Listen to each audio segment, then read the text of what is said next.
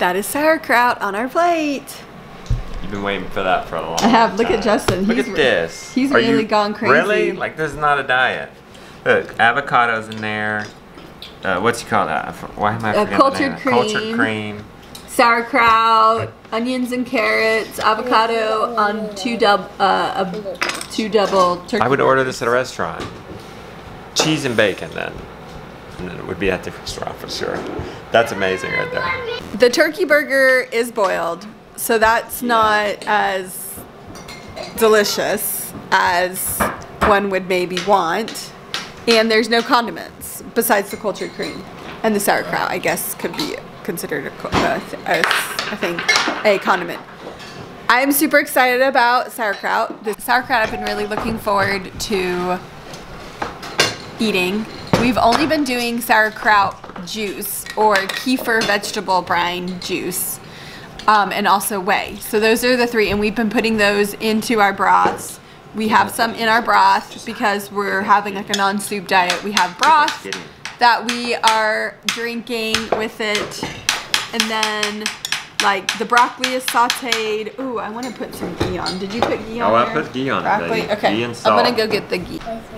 Okay, so I'm gonna put the ghee on the broccoli and then a salt too, because we can have that. I'm really excited. Tomorrow is the day that I go back to the doctor to do my liver enzymes and, or I, I've already had the liver enzymes. I've already had my blood drawn, but I'm going back to find out the results of that and my thyroid. So I'm excited about that. And let's see, I think we're actually moving on to stage four really soon because I think this is the end of stage three, which is exciting.